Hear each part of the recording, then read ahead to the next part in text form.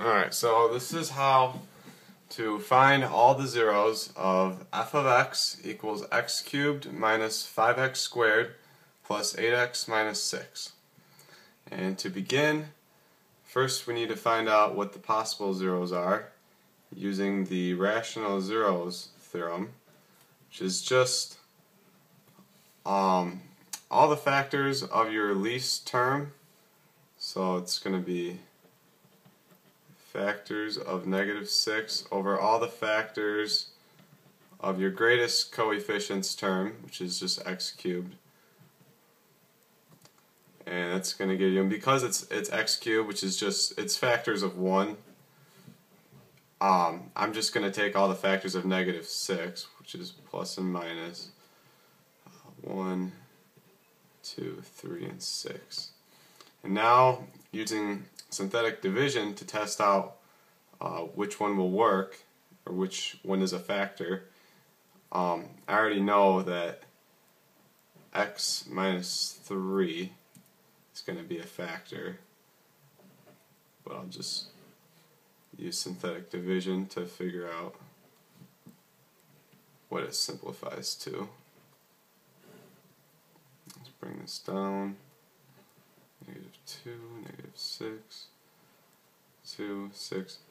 Because the remainder is 0, it concludes that it is a factor. Bring these up, it's going to be x squared minus 2x plus 2. Alright, so now you're left with x minus 3 and x squared minus 2x plus 2. Now this needs to factor into smaller terms and to do that I'm going to use the quadratic formula. So hopefully you know how to use the quadratic formula. It's going to be 4 4 and then 2 which is 8 is over is 2 this is going to simplify to uh, 2 plus or minus the square root of negative 4 over 2. Uh, this term right here, the square root of negative 4, is going to simplify to uh, 2, just 2i.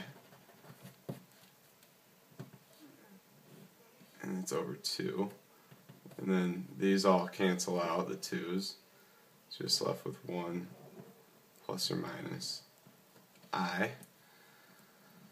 So to write this, or alright, so now now I do have all the zeros, and then x minus 3, the 0 is going to be 3, and then these two are the other zeros. So the zeros are 3, 1 plus i, and 1 minus i. And that's it.